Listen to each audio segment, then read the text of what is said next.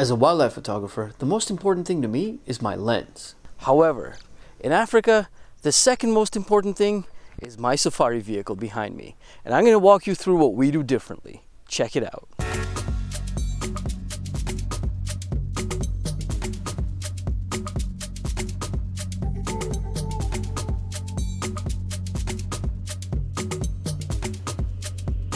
We all know the best photography when it comes to wildlife is being eye level with your animals. And the only way to do that is to be as low as possible, and we achieve that by removing the doors. What do you think?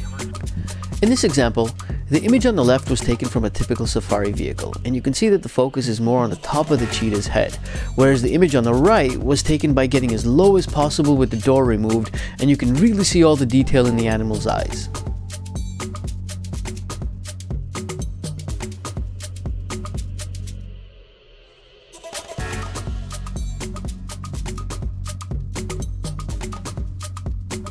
No matter what you're shooting with, you want to be able to see what you're shooting.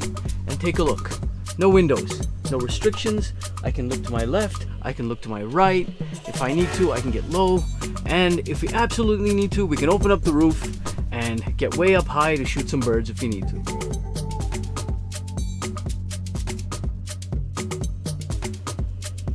So at this point you're probably wondering what's the difference between your vehicle and a typical open safari vehicle?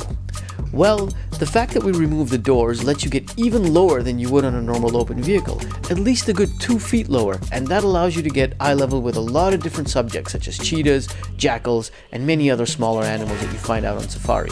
In addition, we also remove several seats, giving you extra space to move around as well as access to different cameras and lenses that you may have.